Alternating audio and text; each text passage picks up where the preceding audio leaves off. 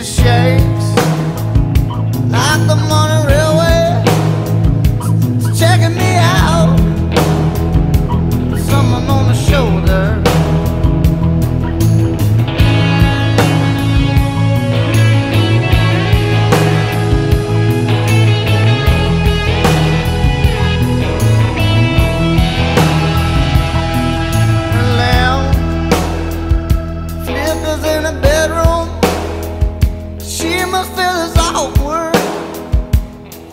Oh, and I go Stand up to a giant